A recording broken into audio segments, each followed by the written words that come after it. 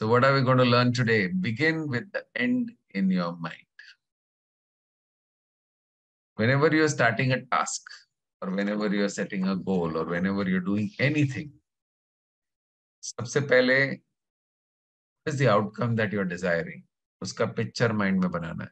For example, if you're walking into an examination, even before you get into the examination, visualize the outcome of the examination, that you're leaving the examination hall knowing that you've done your paper really well and you're super excited.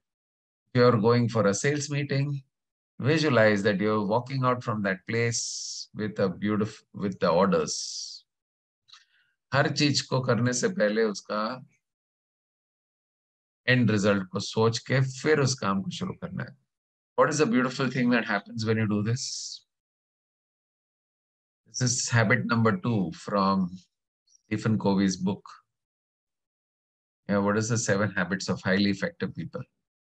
Begin with the end in your mind. Okay? So whenever you begin a new task, create a picture of the end result in your mind. This will give a strong signal to the subconscious mind of the end result, and it will trigger its creative forces to help you to achieve that particular thing.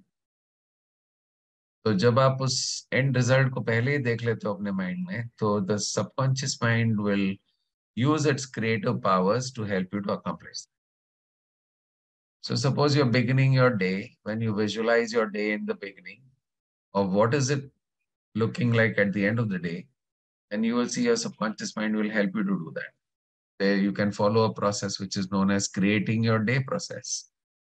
So when you do your visualization in the morning, just take one minute to visualize your entire day the way you want it. And at the end of the day, how are you feeling? तो उसको अपने mind में पहले बना के then you start your day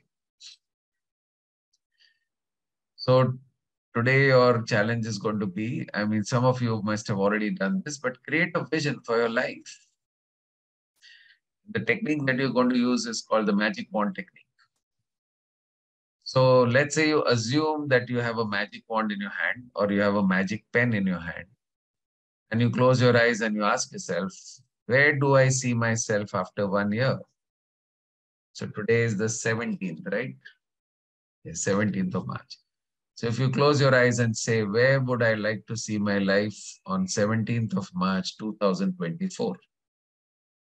तो अगर उस दिन हम सब लोग मिलते हैं तो what will you tell me at that time how is your health how are your relationships how is your business situation how is your money situation so this is called creating a vision for your life तो आपने पहले से अपने मन में देख लिया that is called begin with the end in your mind you can also create a vision document for three years, you can create a vision document for one year. But the technique is that you should have no limitations in your mind. Haath mein jadoo ki chadi honi chahiye. You should have a magic wand in your hand. If you wave the magic wand on your life, in the area of your health, how do you want it to look? So don't worry about how it is going to happen. It should come deep from within. Now don't write something which is which is not connecting with you. You should always write something which is coming from your heart. Dil se ana I want my health to be like this. I want my relationships to be like this. I want my business, my job to be like this. So and so, so and so, so and so. And when you write your vision document, it must be in the present continuous tense as if you're already living your vision.